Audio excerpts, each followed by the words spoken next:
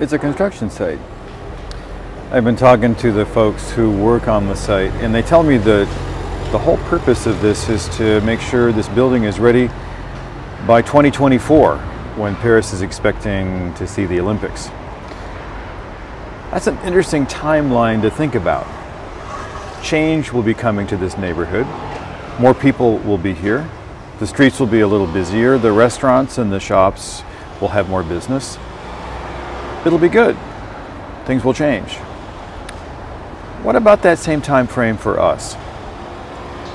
Let's say that a change is coming in Europe, and it's coming by the time of the Paris Olympics, or if you prefer, it's coming by the time of the 81st General Convention of the Episcopal Church, which will be when we elect a new presiding bishop. What is that change that we are bringing into Europe? What is the change God wants to see us bring in in the next three years? Who is affected? Who benefits? What difference does it make to them? What are the resources we need to make that difference? And who are the people that we need to involve to make sure that that change comes into being?